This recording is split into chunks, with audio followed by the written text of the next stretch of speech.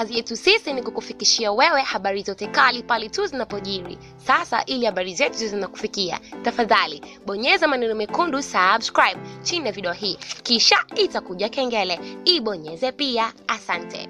Mheshimiwa Rais wanasema sema maneno sasa, ujenzi ujenzi. Nimesema tu hii portion hii, huku sitaki kusema kwa sababu yako mengi yanayoendelea. Ujenzi ujenzi, lakini ujenzi huo Mheshimiwa Rais umeelekeza kwa vijana wahakikishe wamepata asilimia kumi inayotengwa na kutoka kwenye manispaa, na katibu mkuu Dr. Bashiru kahakikisha ya kwamba chama lazima kisimamie na sisi wa mkuu wa mikoa tumepewa maelekezo hayo. Nimeona ni vyema Mheshimiwa Rais nikupe taarifa kwa ufupi tu ya kwamba tayari katika ONSOS katika mkoa mzima wa Dar es Salaam zimetengwa zaidi ya bilioni 12.2. Ni pesa nyingi sana kwa kuinua uchumi wa kina mama, asilimia nne uchumi wa vijana, asilimia nne uchumi wa walemavu, asilimia nne.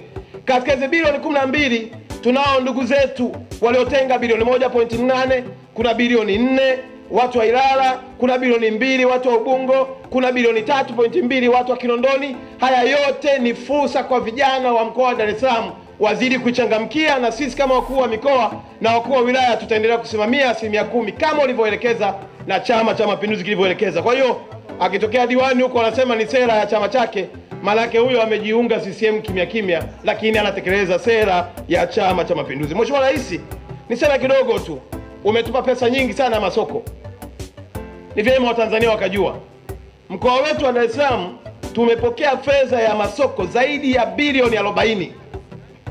Ni pesa nyingi sana. Nimemwona mbunge wangu wa Kinondoni amesema Magomeni pale kuna soko linajengwa, Tandale pale kuna soko linajengwa, hapa Ilala kuna soko linalojengwa, tena itakuwa ni gorofa kama vile wako kwenye shopping mall, kila kona, na hizi fedha wameshazitoa na ni uhakika ya kwamba si tu kwamba masoko yanajengwa bali ni mwanzo wa kutengeneza ajira kwa wananchi wa mkoa wa Dar es Salaam.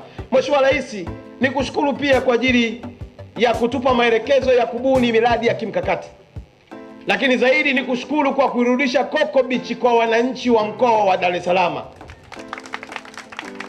Ni mapenzi ya dhati kabisa, na nimshukuru Waziri Mkuu kwa maelekezo aliyoyatoa, na sasa tumekamilisha mradi wetu.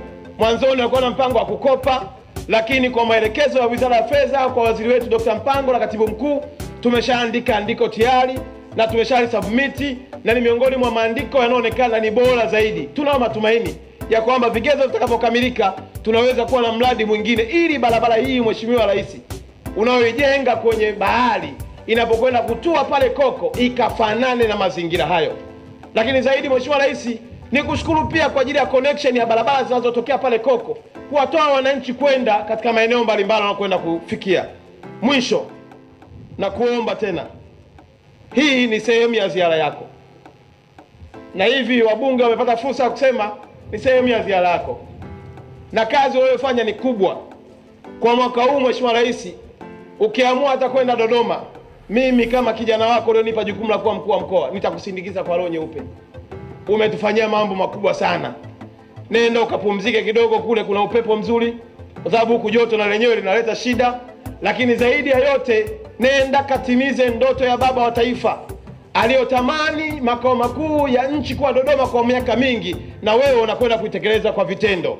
Nenda Mheshimiwa Rais, katimize kwa kuwaunganisha Watanzania watakaokuwa wanatokea mikoa mbalimbali, wakifahamu ya kwamba nchi yao inaanzia Dodoma. Lakini zaidi usitusahau, ili ndio jiji lako la kibiashara upatapo muda karibu, na tutafurahi zaidi tukikukaribisha ukitoka makao makuu Dodoma kuja kufanya ziara, na Mheshimiwa Zungu aliyokuwa naiomba naone na nguvu zaidi akitokea Dodoma kuja Dar es Salaam, kwa sababu wakuu wa mikoa wengine wananufaika kweli akitoka hapa akienda kwao.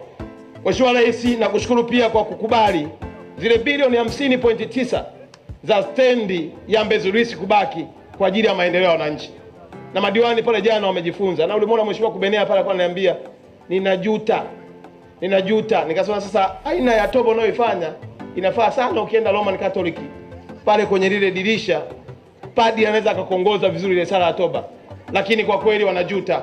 Na wale wengine, yule mbunge wa Kawe maskini, Mheshimiwa Rais ameacha kabisa hata kufanya ziara, aitwa si nani, alima nani, si yule.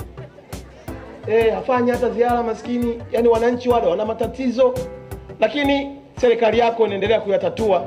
Na mimi nikuambie tu Mheshimiwa Rais, kama mambo yakienda hivi ninavyoona, elfu mbili na ishirini mwezi wa kumi na moja ninakukabidhi mkoa ukiwa na wabunge wa CCM, ukiwa na mameya wa CCM, ukiwa na madiwani wa CCM na wenye viti wa mitaa, na wala hili sina sababu ya kumung'unya maneno. sababu mimi nimezaliwa na kulelewa ndani ya Chama cha Mapinduzi.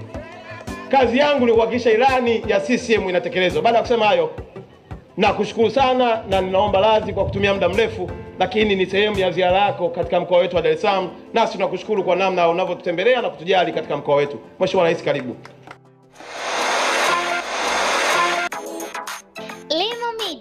Sehemu sahihi ya kupata habari kamili za kweli na kwa wakati. Tafadhali bonyeza subscribe. subscribe.